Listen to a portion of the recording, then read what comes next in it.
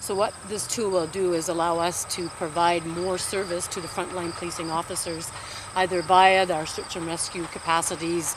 Uh, sometimes, I mean, we find ourselves in situations where you need to get into a, a, certain angle on a situation to be able to do the photography, but also to actually display any dangers for the general public. So we can use this tool to better service the frontline members uh, that support services reaches out to. I think you know uh, what I've you know mentioned earlier is that the provisions are already in place to safeguard any uh, privacy concerns that the general public would have via our uh, relationship with Transport Canada and the guidelines that are put in place that we respect under Transport Canada and the accreditation, the certification uh, that they need to have in order to operate this.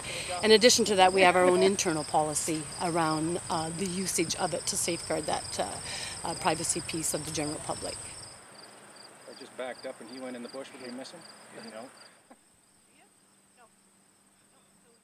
And there are uh, uh, savings in court time as well. Uh, judges and juries and defense are uh, very appreciative of the fact of when this, the evidence is presented in this uh, type of way. So therefore, it reduces then costs of court time for our members that are going in to testify uh, as a result of a fatal collision on the highway that has a criminal element to it.